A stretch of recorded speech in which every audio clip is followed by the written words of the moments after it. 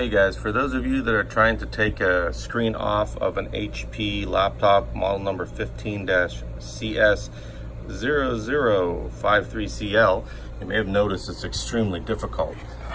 I was looking at this forever, trying to figure out how to get it loose, and it was like it was glued in or something. I, I couldn't figure it out. Sorry for the camera, I'm not much of a YouTuber.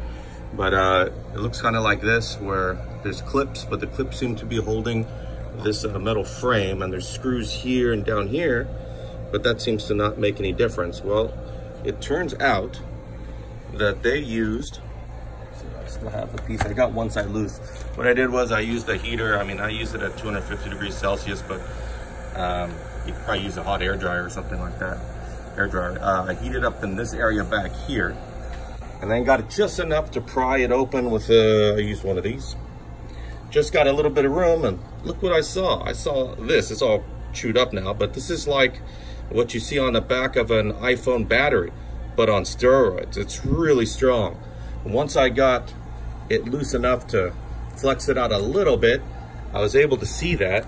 And then I did just like you would see in an iPhone battery replacement. I grabbed it, started twisting. And so let's see, I wasn't really set up to do a video, but I just was such a nightmare and I saw a few people talking about it. I thought, you know what, I I get a lot from YouTube You're helping me. I should do something to help back. So I'm just gonna prop this camera like this, see if I can uh, let you see what I do. So I'm gonna heat up the back now. I'm just going up the side because it's basically right about here. And I really just wanna get it started. And yeah, 250C is kind of a lot for this, but it's aluminum. I don't see any problem providing that much heat in this area. I mean, heck, we're replacing the screen anyway, even if I was to overheat the screen and cause like a one of those burning marks, not a big deal. But really, it's about getting it open just enough so that we can uh, peel that piece out. All right, so it's pretty hot now. You can still see what we're doing here. Okay. So trying to get in here just enough to see that.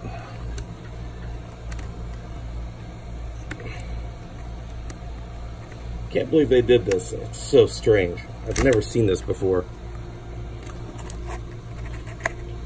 See if I can show you. You look right inside that crack, you see that? That white goop? Alright, so this is what we're gonna do. Come on, phone.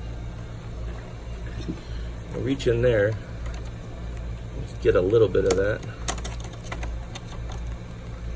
Now, granted, it's easier now because I have the other side open. I got a customer coming in. This is what you do. Be right with you, sir. Start going like this.